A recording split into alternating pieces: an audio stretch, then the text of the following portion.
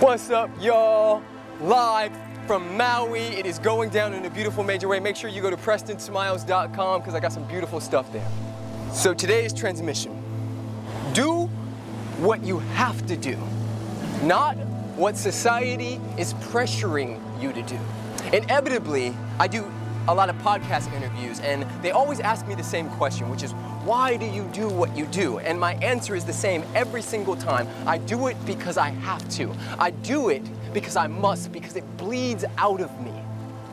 And a part of loving louder, a part of being hashtag love's voice, representing, is doing what's written, what's handwritten on your soul.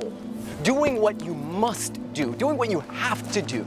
Now that means no matter how obscure, no matter how weird, no matter how ridiculous you think this thing is, that's the thing that will make room for you.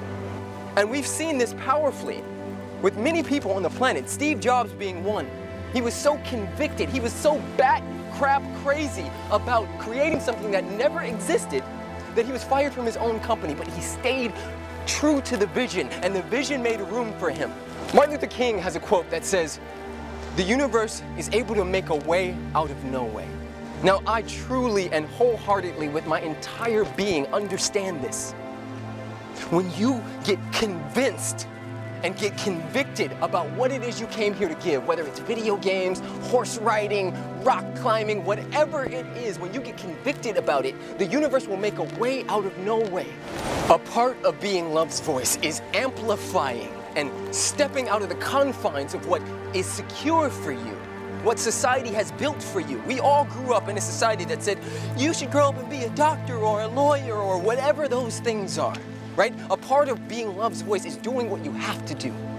Mother Teresa walked the streets of Calcutta looking for people to serve because she had to. Nelson Mandela sat in a prison for 27 years because he had to. Oprah Winfrey endured no after no after no after no because she had to. She had to give her gift away. There is a song in you, and the chorus and the lyrics and the hook and the melody, all of that will reveal itself when you get out of your own way and start giving from your passion. We're in Hawaii right now, and we just drove past the cemetery, and I, I couldn't help but be reminded of how many businesses that were never formed there.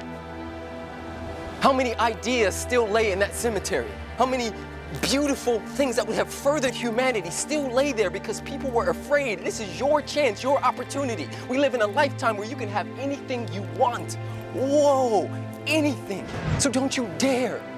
Don't you dare die with your dance, with your music, with your song still in you. Do what you must do. Do what you have to do. Woo! I love you guys so much. Thank you, thank you, thank you. If you're new to the family, if you've never experienced the hashtag Love's Voice family, the tribe, Love and Louder, if you've never experienced any of that, click subscribe if you're on YouTube, if you're on Facebook, or anything, share this message. We got to get stuff like this out everywhere we can. I love you guys so much. Blessings and blessings from Maui, Hawaii is going down in a beautiful, major way. Ooh, ooh. The journey home to the self starts and ends with understanding that you are the author of the script that you're living. That the world you view outside is the world that's happening inside. And it's all a reflection